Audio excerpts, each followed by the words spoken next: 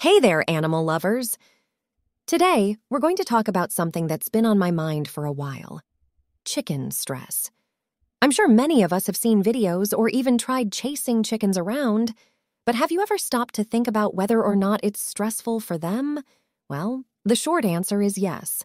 Chickens can definitely experience stress, and being chased is one of the many things that can cause it. Furthermore, stress can have a major impact on a chicken's health and well being. Stressed out chickens are more susceptible to illness, and they may also lay fewer eggs or stop laying altogether. So, what can we do to minimize stress when interacting with chickens? First of all, it's important to approach them calmly and quietly. Sudden movements or noises can startle them and cause them to become anxious. Second, it's a good idea to spend time observing chickens and their behaviors before trying to handle them.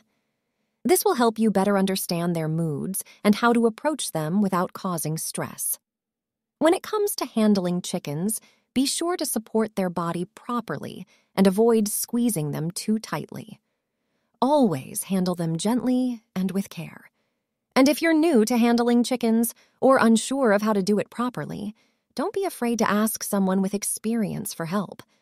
Finally, remember that chickens, like all animals, need plenty of space to roam and plenty of opportunities to engage in natural behaviors. So, if you're raising chickens, make sure they have plenty of room to move around, access to fresh air and sunlight, and plenty of opportunities to scratch, peck, and explore. And there you have it, folks. With these tips in mind, we can all work towards creating a more stress free environment for our feathered friends. Thanks for tuning in, and until next time, keep those chickens happy and healthy.